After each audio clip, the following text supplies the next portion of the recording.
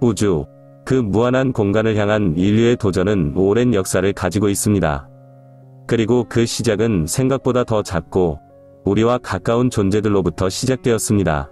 오늘은 특별히 인물 역사가 아닌 우주 탐사의 초기 단계에서 중요한 역할을 한 용감한 비인간 탐험가들에 대한 이야기를 하려고 합니다. 이들은 다름 아닌 우주로 간 동물들입니다. 라이카, 알버트, 펠리세트 등등 이 이름들은 아마도 우주 역사에서 가장 특별한 장을 차지하는 이름들일 것입니다. 이들의 여정은 단순히 우주로의 여행 이상의 의미를 가집니다. 그것은 인간의 호기심, 우리가 알지 못하는 것을 향한 도전의 정신을 상징하며 동시에 그 과정에서의 윤리적 고민과 책임에 대해 우리에게 끊임없이 질문을 던집니다. 이번 영상에서는 이러한 동물 우주비행사들의 용기 있는 여정을 되짚어보고 그들이 우주 탐사 역사에서 어떤 역할을 했는지 그리고 그들의 여정이 오늘날 우리에게 어떤 의미를 가지는지에 대해 탐구해 보겠습니다. 2차 세계대전 후 미국은 작전명 종이 클립을 통해 독일의 V2 로켓 기술과 과학자들을 입수했습니다.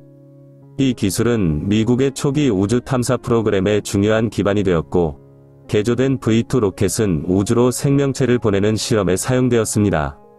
베르너 폰 브라운과 같은 과학자들은 미국의 우주 탐사와 로켓 개발에 크게 기여했습니다. 1948년, 인류는 우주 탐사라는 새로운 장을 열었습니다. 그 시작은 알버트 1세, 히말라야 원숭이가 V2 로켓에 탑승하면서부터였습니다. 이 원숭이는 우주의 문턱까지 도달했으나 안타깝게도 생존하지 못했습니다. 이후 알버트 2세도 같은 운명을 맞이했습니다. 그럼에도 불구하고 이 실험들은 우주 탐사에 대한 중요한 데이터를 제공했습니다. 알버트 3세의 여정은 더욱 주목할 만했습니다. 이번에는 필리핀 마카크, 종종 필리핀 원숭이로 불리는 동물이었습니다. 1949년 알버트 3세는 더 높은 고도로 발사되었으며 우주의 신비를 조금 더 깊이 탐사할 기회를 제공했습니다. 불행히도 알버트 3세 역시 생존하지 못했습니다. 이후 알버트 4세는 히말라야 원숭이로 다시 실험 대상이 되었으며 1950년에 우주로 발사되었습니다. 알버트 4세는 우주에서의 생명 유지 가능성에 대한 더 많은 정보를 제공했습니다. 1951년에 마지막 알버트 5세를 탑승시켰고 이번에는 생쥐가 그 이름을 물려받아 실험에 참여합니다. 그 결과는 과학 커뮤니티에 큰 반향을 일으켰습니다. 알버트 5세의 비행은 생명체가 우주 공간에서 어떻게 생존하고 적응할 수 있는지에 대한 귀중한 통찰을 제공했습니다. 알버트 시리즈를 통한 이 실험들은 단순히 우주로 생명체를 보내는 것 이상의 의미를 가지고 있습니다. 이는 우주 환경에서 생명체의 생존 가능성을 탐구하고 미래의 우주 탐사와 장기적인 우주 거주 가능성을 위한 중요한 기초 자료를 제공했습니다. 알버트 시리즈는 우주 탐사 역사에서 중요한 이정표로 우주 생물학 연구에 큰 발전을 가져왔습니다. 1957년 11월 3일, 소련도 생명체를 우주로 보내는 대담한 실험을 실시했습니다. 스푸트니크 2호의 탑승객은 라이카라는 이름의 작은 개였습니다. 라이카는 모스크바의 거리에서 구조된 이후 이 놀라운 임무에 선발되었습니다. 그녀의 우주여행은 단순히 우주로 생명체를 보내는 것을 넘어서 생명 유지 시스템의 실험적 검증과 우주 환경이 생명체에 미치는 영향을 탐구하는 중요한 단계였습니다. 라이카라는 이름은 러시아어로 짓는 개를 의미합니다. 이 이름은 주로 집 없는 유랑견을 가리키는 말로도 사용되며 라이카 자신이 모스크바의 거리에서 구조된 배회견이었기 때문에 이 이름이 붙여진 것으로 알려져 있습니다. 라이카의 여정은 우주 탐사에 있어 큰 도약이었지만 동시에 논란의 여지가 있는 결정이었습니다. 발사 당시 기술적 한계로 인해 라이카가 지구로 돌아올 방법은 없었습니다. 소련 과학자들은 라이카가 지구 궤도를 여러 차례 돈 후 몇 시간 이내에 사망할 것으로 예상했습니다. 라이카는 발사 전 특별히 제작된 우주선 내부의 좁은 공간에 배치되었습니다. 이 공간은 생명 유지를 위한 최소한의 기능을 갖추고 있었으며 라이카의 생체 신호를 지상으로 전송할 수 있는 장비가 설치되어 있었습니다. 발사 이후 라이카는 지구 궤도에 성공적으로 진입했으며 말 그대로 역사상 최초로 지구 밖 우주여행을 한 생명체가 되었습니다. 그리고 이는 생명체가 우주 환경에서 생존할 수 있음을 입증하는 역사적 순간이었습니다. 스푸트니크 2호에서 수집된 데이터는 우주여행의 물리적, 생리학적 영향에 대한 초기 이해를 제공했습니다. 그러나 라이카의 운명에 대한 진실은 후에야 밝혀졌습니다. 당초 소련은 라이카가 며칠간 생존한 후 안락사되었다고 발표했으나 실제로는 발사 후 몇 시간 이내에 스트레스와 과열로 인해 사망한 것으로 확인되었습니다. 라이카의 우주여행은 과학적 성과를 넘어서 동물 윤리에 대한 중요한 논의를 촉발시켰습니다. 라이카는 인간이 우주를 탐험하는 꿈을 실현하기 위해 희생된 최초의 우주 탐험가로 기억됩니다. 그녀의 이야기는 오늘날에도 많은 이들에게 감동과 교훈을 주며 우주 탐사 역사상 불멸의 한 페이지로 남아 있습니다. 1959년 미국은 에이블과 베이커라는 두 마리의 원숭이를 우주로 보냈습니다. 이들은 지구 궤도를 돌지 않았지만 고도 579km에 도달하여 살아 돌아오는데 성공했습니다. 에이블과 베이커의 성공적인 귀환은 생명체가 우주에서 살아남을 수 있음을 입증하며 인간 우주 비행의 길을 열었습니다. 특히 이들은 우주 비행 중 발생할 수 있는 다양한 생리적 변화에 대한 중요한 정보를 제공했습니다. 1960년 8월 19일 소련은 스푸트니크 5호를 탑승한 두 마리의 개, 벨카와 스트레카를 우주로 발사했습니다. 이 두 마리의 개는 소련의 우주 탐사 프로그램의 일환으로 선발되었고, 인간의 우주여행 가능성을 탐구하기 위한 중요한 임무를 맡게 되었습니다. 벨카와 스트레카는 우주여행을 위해 엄격한 선발 과정을 거쳤습니다. 두 개는 우주선 내부의 제한된 공간에서 지내는 데 필요한 훈련을 받았으며, 무중력 상태와 극심한 가속도에 대비하는 특별한 훈련도 진행되었습니다. 이 훈련은 두 개가 우주여행의 신체적, 정신적 스트레스를 견딜 수 있도록 도왔습니다. 스푸트니크 5호에 탑승한 벨카와 스트레카는 지구 궤도를 성공적으로 진입했습니다. 두 개는 약 하루 동안 지구 주변을 돌며 우주여행을 했습니다. 이 기간 동안 그들의 심박수, 호흡률, 그리고 기타 생체 신호가 지상으로 전송되었습니다. 이 데이터는 우주 환경이 생명체에 미치는 영향에 대한 소중한 정보를 제공했습니다. 벨카와 스트레카의 우주여행 후 두 개는 무사히 지구로 귀환했습니다. 그들의 귀환은 전 세계적으로 큰 관심을 받았고 우주여행이 생명체에게 가능함을 증명하는 중요한 사건이었습니다. 두 개의 성공적인 우주여행은 인간 우주 비행에 대한 길을 열었으며 후속 임무의 계획에 중요한 자료를 제공하였고 소련뿐만 아니라 전 세계에서 영웅으로 환영받았습니다. 그들의 임무는 우주 탐사에 대한 인류의 호기심과 야망을 대변하는 것이었습니다. 두 개는 다양한 행사와 축하 행사에 참여했으며 그들의 용기와 기여는 우주 탐사 역사에서 높이 평가되었습니다. 벨카와 스트렐카의 우주여행은 우주 탐사 역사상 중요한 장을 장식합니다. 그들의 임무는 생명체가 우주 환경을 견딜 수 있음을 증명했으며 이는 후속 우주 임무의 설계와 계획에 큰 영향을 미쳤습니다. 우주 탐사의 역사를 장식하는 영웅적인 에피소드로 기억됩니다. 1961년 해머와 스킷이라는 두 마리의 침팬지가 머큐리 레드스톤 로켓에 탑승하여 발사되었습니다. 이들은 지구 궤도를 따라 비행하는 임무를 수행했으며 무사히 귀환했습니다. 해머와 스킷의 임무는 인간이 우주 비행을 할 때 겪게 될 조건들을 시험하는 데 큰 기여를 했습니다. 1961년 침팬지 햄은 머큐리 레드스톤 2호에 탑승하여 우주로 발사되었습니다. 햄의 우주여행은 단순한 모험이 아니었습니다. 이는 인간이 직면할 수 있는 우주 환경의 복잡성과 위험성을 이해하는 데 중요한 단계였습니다. 햄의 임무는 공간에서의 생명 유지 시스템의 신뢰성, 우주 방사선의 영향, 그리고 무중력 환경에서의 생체 반응 등에 대한 데이터를 수집하는 것이었습니다. 햄의 우주여행에서 얻은 데이터는 무중력 상태에서의 생체 메커니즘, 심장 박동 및 호흡률 변화, 스트레스 반응 등을 포함했습니다. 또한 우주 비행 중에 발생할 수 있는 다양한 의학적 문제에 대비하는 데 필수적인 정보도 제공했습니다. 햄이 우주에서 보낸 시간은 짧았지만 그가 제공한 정보는 인간 우주 비행의 안정과 효율성을 향상시키는 데 큰 역할을 했습니다.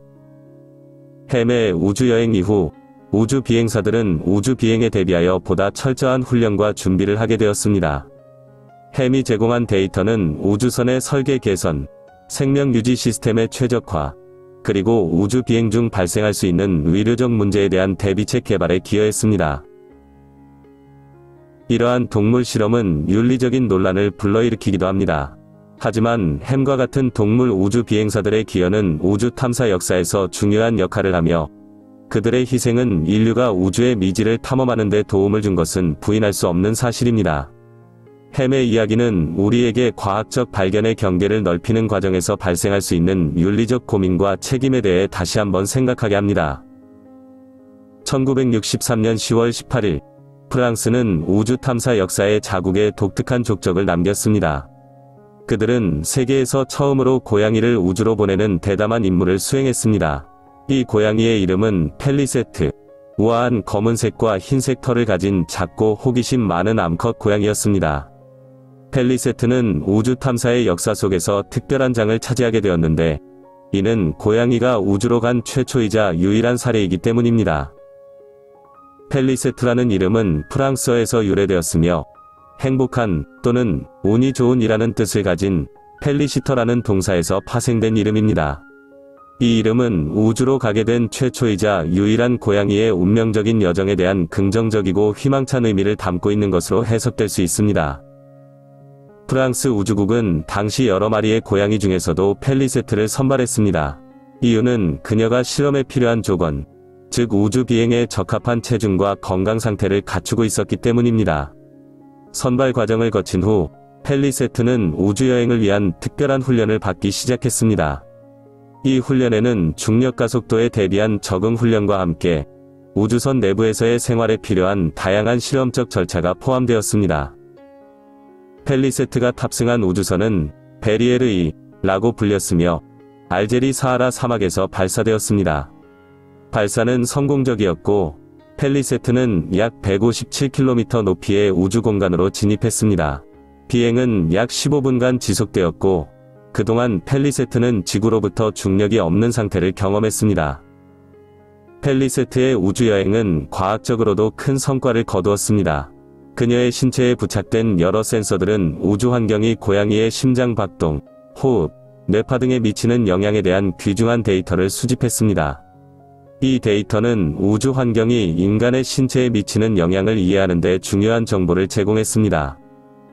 펠리세트는 우주 비행 후 지구로 무사히 귀환했습니다. 그녀의 귀환은 우주 여행이 생명체에게 미치는 영향을 연구하는 데 있어 중요한 이정표가 되었습니다. 펠리세트의 우주 여행은 당시 프랑스뿐만 아니라 전 세계적으로도 큰 주목을 받았습니다.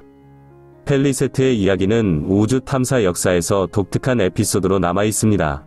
그녀는 우주로 간 최초이자 유일한 고양이로 우주 탐사에 대한 인류의 호기심과 모험정신을 상징합니다. 그녀의 여정은 과학적 탐구와 동물 윤리에 대한 중요한 논의를 불러일으켰으며 오늘날에도 많은 이들에게 감동과 영감을 주고 있습니다. 펠리세트의 기여는 우주 과학 연구에 있어 중요한 발자취로 기억되며 우주 탐사의 역사를 장식하는 빛나는 별과 같습니다. 중국의 우주 프로그램은 후발 주자임에도 불구하고 빠른 발전을 이루며 세계 우주 탐사 분야에서 주목할 만한 성과를 달성했습니다. 중국이 우주로 보낸 동물들의 이야기 역시 중국 우주 탐사 역사의 중요한 일부를 차지합니다. 중국은 2003년 양리웨이를 태운 신주 5호 발사로 유인 우주비행을 성공적으로 수행하기 이전에 여러 동물을 대상으로 한 우주 실험을 통해 중요한 데이터와 경험을 축적했습니다. 중국의 우주 동물 실험은 1960년대 초에 시작됐습니다. 가장 초기의 실험들은 주로 고도가 낮은 지구 대기권 내에서 수행되었으며 이후 점차 고도와 복잡성이 증가하는 방향으로 발전했습니다. 초기 실험 대상으로는 쥐와 토끼가 포함되었으며 이들 동물은 우주 환경이 생물체에 미치는 영향에 대한 초기 이해를 제공했습니다. 중국의 우주 프로그램에서 중요한 이정표 중 하나는 원숭이를 우주로 보낸 실험이었습니다. 1980년대 중국은 몇 차례에 걸쳐 원숭이를 탑승시킨 우주 캡슐을 발사했습니다. 이 원숭이들은 특별히 제작된 우주복을 입고 생명 유지 시스템이 탑재된 캡슐 내부에서 비행했습니다. 이러한 비행은 생명체가 우주 환경에서 겪을 수 있는 다양한 생리적 변화를 모니터링하는 데 중점을 뒀습니다. 1990년대에 중국은 진진, 과, 멍멍, 이라는 두 마리의 원숭이를 탑승시킨 우주선을 발사했습니다. 이들은 지구 궤도를 여러 바퀴 돈 후 무사히 귀환하는 데 성공했으며 이 과정에서 수집된 데이터는 중국의 미래 유인 우주비행 프로그램에 귀중한 정보를 제공했습니다. 진진, 과, 멍멍, 위 성공적인 우주비행은 중국 우주과학 연구에 있어 중대한 도약을 의미했습니다. 중국의 우주 동물 실험은 우주 환경이 생물체의 생리적, 생화학적 반응에 미치는 영향을 이해하는 데 중요한 기여를 했습니다. 이 실험들은 중국이 독자적인 우주 생명과학 연구를 수행하는 능력을 갖추게 하였으며 향후 유인 우주비행의 안전성을 높이는 데 결정적인 역할을 했습니다. 중국의 이러한 실험들은 우주 탐사가 단지 기술적 성과만이 아니라 우주 환경에서 생명을 이해하고 보호하는 방법을 모색하는 과정임을 보여줍니다. 진진, 멍멍을 비롯한 우주로 간 동물들의 이야기는 중국 우주 탐사 역사의 중요한 장을 장식하며 우주 과학 연구에 있어 동물의 희생과 기여를 기리는 유산으로 남아 있습니다. 우주에서의 거미 실험은 인간이 지구를 벗어나 무중력 상태에서 생명체가 어떻게 적응하는지 이해하기 위한 중요한 단계였습니다. 가장 주목할 만한 사건은 1973년 스카이랩 미션에서 이루어진 실험입니다. 아라베스크 거미, 아니타와 아라베가 우주로 보내졌을 때 그들은 인간이 관찰할 수 있는 최초의 거미줄을 우주에서 짜는 생명체가 되었습니다. 초기에 이 거미들은 무중력 상태의 혼란을 느끼며 제대로 된 거미줄을 짓지 못했습니다. 하지만 며칠이 지나자 두 거미는 놀라울 정도로 빠르게 적응하여 거의 정상적인 모양의 거미줄을 만들기 시작했습니다. 이 실험은 무중력 상태에서도 거미가 본능적으로 거미줄을 짤 수 있음을 보여주며 생명체가 새로운 환경에 어떻게 적응하는지에 대한 이해를 넓혔습니다. 2008년에는 미국의 학생들이 설계한 또 다른 실험이 진행되었습니다. 이번에는 과학 실험용 셔틀에 탑재된 거미가 우주로 갔습니다. 이 실험에서 거미는 무중력 상태에서도 거미줄을 정교하게 짤 수 있다는 것을 다시 한번 확인시켜 주었습니다. 무중력 환경이 거미의 거미줄 짜기 능력에 장애가 되지 않음을 명확히 보여준 것입니다. 이 발견은 생명체가 우주 환경에 적응하는 능력에 대한 연구에 중요한 데이터를 제공했습니다. 이후로도 여러 차례 우주에서 거미 실험이 이어졌고, 각 실험은 거미가 어떻게 무중력 상태에서 생존하고 기능하는지에 대한 더 많은 정보를 제공했습니다. 이 실험들은 무중력 환경에서 생명체의 행동 패턴을 이해하는 데 큰 도움이 되었으며, 장기적인 우주 탐사와 우주 정거장에서의 생명 유지 시스템 개발에 중요한 영향을 미쳤습니다. 우주에서 거미줄을 짜는 거미의 모습은 우주 생물학의 놀라운 가능성을 보여줍니다. 이 실험들은 지구를 벗어난 곳에서도 생명이 어떻게 적응하고 생존할 수 있는지에 대한 근본적인 질문에 답하는 데 기여했습니다. 거미의 거미줄 짜기 능력이 무중력에서도 유지될 수 있다는 사실은 우주 환경에서 생명체의 본능과 생존 전략을 새롭게 이해하는 데 중요한 역할을 하였습니다.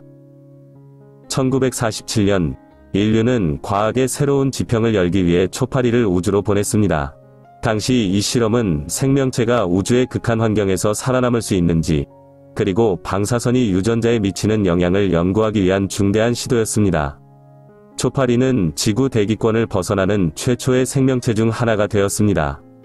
이 작은 생명체들은 V2 로켓에 실려 약 109km의 고도에 도달했습니다. 초파리는 지구로부터 받는 방사선의 양과 우주 방사선의 차이를 비교 연구하기 위한 이상적인 대상이었습니다. 연구자들은 특히 방사선이 초파리의 생식세포에 어떤 변이를 일으키는지 관찰하고자 했습니다. 로켓이 지구로 귀환했을 때 연구자들은 초파리들이 비교적 건강한 상태로 생존해 있음을 발견했습니다.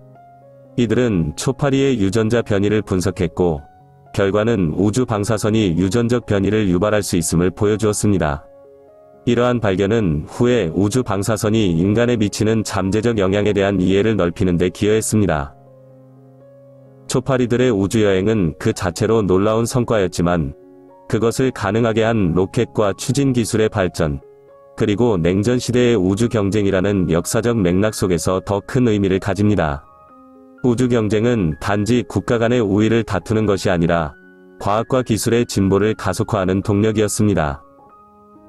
이 작은 실험은 우주 탐사의 길을 닦는 데 중요한 첫 단추가 되었고, 초파리들의 무사한 귀환은 인간이 우주로 진출하는 꿈에 한 걸음 더 다가가게 해주었습니다. 우주를 향한 호기심과 도전 정신을 상징하는 초파리의 여정은 우주 과학의 놀라운 역사 속에서 소중한 한 페이지를 차지하고 있습니다. 나데즈다 프로젝트의 이야기는 러시아 우주 탐사 역사에서 특별한 장을 차지합니다. 2007년 인류는 우주 탐사의 새로운 지평을 넓히고자 달의 미지의 세계에 생명체를 보냈습니다. 이번에는 특별한 탐험대원이었으니 바로 나데즈다라는 이름을 가진 바퀴벌레들이었습니다. 나데즈다는 러시아어로 희망이라는 뜻을 지니고 있으며 이 이름은 그들의 여정이 인류에게 새로운 희망을 가져다 주길 바라는 마음에서 유래되었습니다. 루나 24 탐사선에 실려 달의 표면에 도달한 나데즈다들은 인간 대신 달의 환경을 직접 경험하게 된 최초의 지구 생명체들이었습니다. 이들의 임무는 생명과학 실험의 일환으로 달의 극한 환경이 생명체에 어떤 영향을 미치는지 관찰하는 것이었습니다. 특히 달의 표면에 놓인 후 생존 능력과 번식 능력에 대한 연구가 진행되었습니다. 나데즈다의 여정은 생명의 근원에 대한 인류의 궁금증과 우주를 탐사하려는 끝없는 호기심을 상징합니다. 그들은 달의 표면에서 지구로 무사히 귀환했고, 더 놀라운 사실은 지구로 돌아온 후 새끼를 낳았다는 것입니다. 이는 달과 같은 외계 환경에서도 생명이 생존하고 번식할 수 있음을 시사하는 중대한 발견이었습니다. 나데즈다 프로젝트의 성공은 우주과학과 생명과학에 중요한 기여를 했습니다. 이 실험을 통해 얻은 데이터는 우주 환경이 생명체에 미치는 영향에 대한 이해를 심화시키는 데 큰 도움이 되었습니다. 또한 이는 미래의 우주 탐사와 외계 행성에서의 생명체 탐색에 중요한 단서를 제공했습니다. 나데즈다의 여정은 단순한 실험을 넘어 우리가 우주와 생명에 대해 가지고 있는 깊은 질문들에 대한 답을 찾아가는 과정입니다. 그들은 희망이라는 이름처럼 인류가 우주의 신비를 풀어가는 여정에 새로운 희망의 빛을 비추었습니다. 이스라엘의 무인 탐사선이 지구에서 가장 강인한 생명체 중 하나인 물곰을 싣고 우주로 발사된 후 불행히도 목적지에 도달하기 전에 추락하는 사건이 발생했습니다. 이 사건은 과학계와 대중에게 큰 관심을 불러일으켰으며 물곰이 우주 환경에서 어떻게 생존할 수 있는지에 대한 흥미로운 논의를 촉발시켰습니다. 물곰은 지름이 0.5mm 정도로 매우 작지만 극단적인 환경에서 생존할 수 있는 놀라운 능력을 가진 생명체입니다. 영하 272도의 극저온에서부터 150도가 넘는 고온, 심지어는 우주의 진공 상태에서도 생존할 수 있습니다. 이들은 물이 거의 없는 상태에서도 몇 년간 생명 활동을 중단하고 환경이 개선되면 다시 활동을 시작하는 안면 상태로 전환할 수 있는 능력을 가지고 있습니다. 이러한 특성 때문에 과학자들은 물곰을 우주 탐사와 관련된 실험에 자주 사용합니다. 이스라엘의 무인 탐사선에 실린 물곰은 우주의 극단적인 환경에서 생명체가 어떻게 생존할 수 있는지에 대한 연구를 목적으로 했습니다. 탐사선이 목적지에 도달하기 전에 추락했지만 물곰이 탑재된 사실은 우주 생물학 연구에 있어 중요한 이정표를 제시했습니다. 물곰의 강력한 생존 능력은 생명체가 우주에서 존재할 수 있는 가능성을 탐구하는 데 있어 귀중한 자료를 제공합니다. 탐사선이 추락한 후 많은 사람들이 물곰이 생존해 있을 가능성에 대해 궁금해했습니다. 물곰의 강인한 생존 능력을 고려할 때 우주의 진공, 극한의 온도, 그리고 방사선에도 불구하고 생존할 가능성이 있다고 여겨집니다. 이러한 사건은 생명체의 우주 생존 능력과 우주 환경에 적응하는 메커니즘에 대한 연구에 새로운 문을 열었습니다. 이스라엘 무인 탐사선의 사건은 우주 탐사의 리스크와 함께 우주 환경에서 생명체가 겪는 도전에 대한 우리의 이해를 한층 더 깊게 해주었습니다. 물곰을 통해 우리는 생명의 탄력성과 우주 탐사의 미래에 대해 새롭게 생각해 볼 기회를 가졌습니다. 이 사건은 우주 과학 연구에 있어 중요한 교훈을 남기며 미지의 세계를 탐험하려는 인류의 끊임없는 호기심과 열정을 상징합니다. 우주의 무한한 신비를 탐구하기 위한 인류의 여정에서 용감한 동물들이 중요한 역할을 맡았습니다. 라이카, 알버트, 펠리세트, 벨카와 스트레카 같은 이름은 이제 우주 탐사 역사의 한 페이지를 장식하고 있습니다. 그들의 여정은 단순한 탐험을 넘어 인간에게 우주여행의 생리적, 심리적 영향에 대한 귀중한 통찰을 제공했습니다. 동물 우주비행사들을 통해 우리는 생명 유지 시스템의 효율성을 시험하고 무중력 환경이 생물체에 미치는 영향을 이해할 수 있게 되었습니다. 이 실험에서 얻은 데이터는 우주 비행사들이 장기간 우주에서 생존하기 위해 필요한 지식의 기반이 되었습니다. 또한 우주 방사선이 생명체의 세포와 DNA에 미치는 영향을 연구함으로써 우주 비행 중 방사선으로부터 우주 비행사들을 보호하기 위한 기술 개발에 기여했습니다. 이는 우주 여행의 안전성을 크게 향상시키는 중요한 발전이었습니다.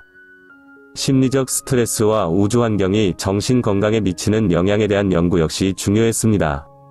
동물 실험을 통해 얻은 이해는 우주 비행사들의 정신 건강을 지원하는 프로그램과 기술의 개발로 이어졌습니다.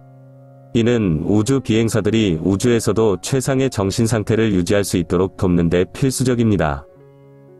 이처럼 우주로 간 동물들의 희생과 기여는 우주 탐사의 안전과 성공을 위한 근본적인 발판을 마련했습니다. 그들의 여정은 과학적 탐구의 경계를 확장했을 뿐만 아니라 우주 비행의 윤리적, 도덕적 질문에 대해서도 우리에게 성찰의 기회를 제공했습니다.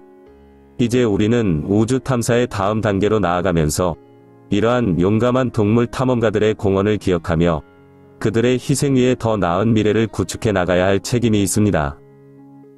우주여행 실험에 동물들이 참여했던 이야기를 되돌아보며 우리는 과학과 윤리 사이의 복잡한 관계를 직면하게 됩니다. 라이카, 알버트, 펠리세트, 벨카와 스트레카, 그리고 다른 많은 동물들이 우주 탐사의 초기 단계에서 중요한 역할을 했다는 사실은 부인할 수 없습니다. 과학적 발견을 위한 동물 실험의 정당성과 그 한계는 무엇인가? 우리는 동물을 대하는 방식에서 어떤 윤리적 책임을 지고 있는가? 이러한 질문들은 과학적 탐구와 윤리적 책임 사이에서 균형을 찾으려는 우리의 끊임없는 노력을 상기시킵니다. 이러한 동물들의 이야기는 과학, 윤리, 그리고 인간 정신의 복잡한 직조를 보여줍니다. 우리는 이들의 기여를 기억하고 그들이 우리에게 남긴 교훈을 통해 더 나은 미래를 위한 지혜를 얻을 수 있기를 희망합니다. 시청해주셔서 감사합니다. 수면제 비용은 여러분의 구독입니다. 여러분의 수면제 디어게인이었습니다. 편안한 밤 되세요.